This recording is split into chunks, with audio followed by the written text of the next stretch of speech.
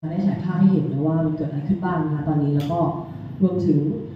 ผลกระทบของคำถามประชามติที่คณะกรรมการได้เคาะออกมาเนี่ยมันอาจจะสร้างความสับสนในภายหลัง แล้วก็ทำให้กระบวนการในการรัฐธรรมนูญไม่เดินหน้าก็ได้นะคะสิ่งสำคัญอีกอย่างหนึงคือมันอาจจะกลายเป็นหนึ่งในชนวนเหตุในความขัดแย้งด้วยก็ได้ เพราะฉะนั้นทาง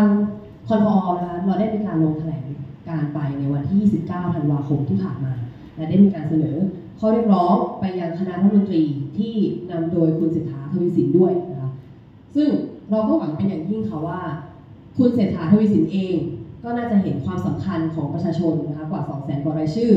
ที่พยายามอย่างหนักมากนะถึงแม้ว่าจะเจออุปสรรคจากกรกตเนี่ยก็พยายามอย่างหนักมากเพื่อให้คำถามที่เป็นคำถามที่ประชาชนมั่นใจได้เนี่ยได้เข้าไปสู่คอรมอนะคะก็อยู่ที่คอรมอแล้วค่ะอยู่ที่คุณเศรษฐาแล้วค่ะว่าจะเคาะอย่างไรนะคะแต่ว่าทางกลุ่มประชาชนร่างรัฐมนูญนะคะหรือว่าคอนฟอร์นะคะก็ได้มีข้อเรียกร้อง ไปยังคณะรัฐมนตรีที่นำโดยคุณเศรษฐาทวีสินด้วยนะคะเป็น 2 ประเด็นหลักนะคะอย่างแรกก็คือเราขอให้คณะรัฐมนตรีที่นำโดยคุณเศรษฐาทวีสินเนี่ยได้ทบทวนการตั้งคำถามประชามติ ที่คณะกรรมการศึกษาแนวทางได้จัดทำออกมานะคะและสิ่งสำคัญคือ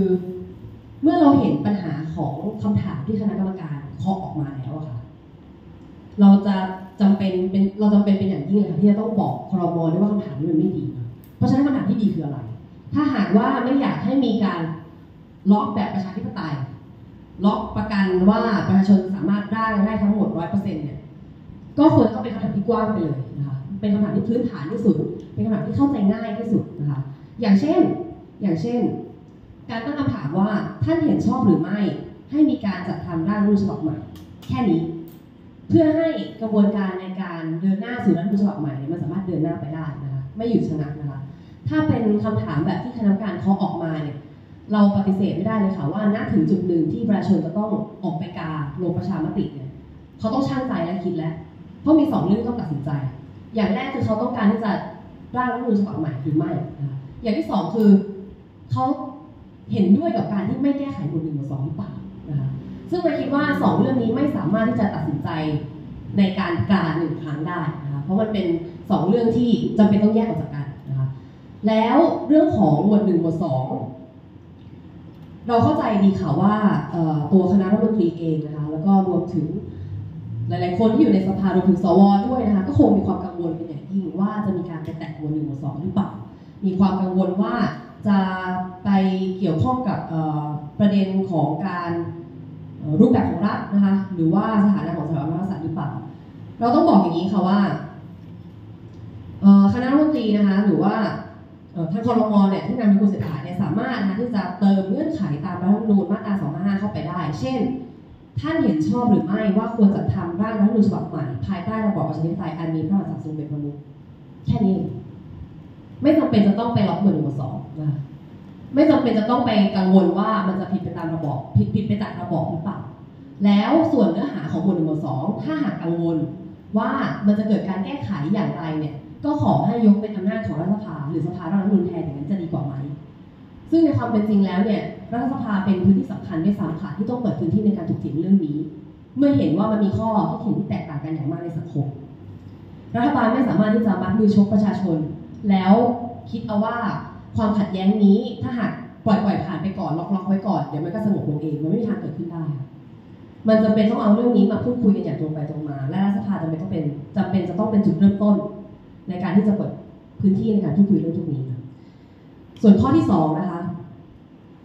ก็คือเอเราขอให้คณะรัฐมนตรีที่นำโดยคุณเศรษฐาทวีสินย้ำอีกครั้งหนึงนะคะ รับรองคำถามประชามติที่ประชาชนกว่า 211,904 รายชื่อเนี่ยได้ใช้สิทธิ์เข้าชื่อตามกฎหมาย ในการเสนอคำถามประชามติไปคำถามที่เราบอกว่าท่านเห็นชอบหรือไม่ว่ารัฐสภาจะต้องแก้ไขรัฐธรรมนูญพศ 2560 เพื่อจัดทำรัฐธรรมนูญฉบับใหม่ทั้งฉบับ โดยสภาร่างรัฐธรรมนูญหรือสสรที่มาจากการเลือกตั้งของประชาชน นี่เป็นคำถามที่ สามารถประกันได้แน่นอนว่าประชาชนจะได้อะไรในทางปลายทาง กระบวนการในการร่างรัฐธรรมนูญจะเป็นแบบไหนเนื้อหาจะเป็นแบบใดเราสามารถมั่นใจกับมันได้ เราเสนออย่างนี้ค่ะว่าอย่างน้อยก็อยากให้คอรมอเนี่ยช่วยใส่ใจ เห็นความสำคัญของสองแสนกว่ารายชื่อที่ยื่นคำถามนี้เข้าไปหน่อย เห็นความสำคัญของข้อความนั้นว่าทำไมเราถึงจะต้องใส่ไว้ขนาดนั้นว่า ต้องร่างใหม่ทั้งฉบับและสสรต้องมาจากการเลือกตั้งร้อยเปอร์เซ็นต์ เพราะตอนนี้เรากำลังสู้กันอยู่ค่ะ กับการร่างรัฐธรรมนูญที่เผลอๆแล้วอาจจะเป็นเพียงแค่การร่างไปเพื่อให้ตอบกับสิ่งที่เคยพูดไว้กับประชาชนก่อนหน้านั้นเฉยๆหรือเปล่านะคะ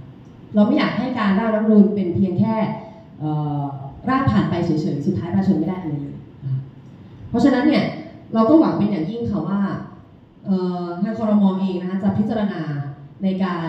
รับคำถามประชามติของประชาชนในส่วนนี้ไว้ด้วย ซึ่ง เราจะพยายามค่ะขอทางขอขอหารือนะคะหาทางขอเข้าหารือกับนายกรัฐมนตรี คุณเศรษฐาทวีสินนะคะ ว่าคำถามของประชาชนที่ยื่นไปและอยู่ในชั้นคอรมอตอนนี้แล้วเนี่ย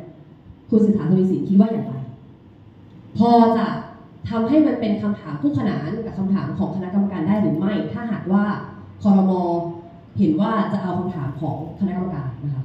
ถ้าจะให้แฟร์ก็ควรมีคำถามของประชาชนเข้าไปด้วย ราะว่ามันคิดว่าความสำคัญก็คงไม่ได้น้อยกว่ากันนะคะทั้งสองข้อนี้ค่ะทางประชาชนออยากร่างรัฐมนูญนะคะประชาชนร่างรัฐมนูญหรือว่าคอนฟอร์เนี่ยได้แถลง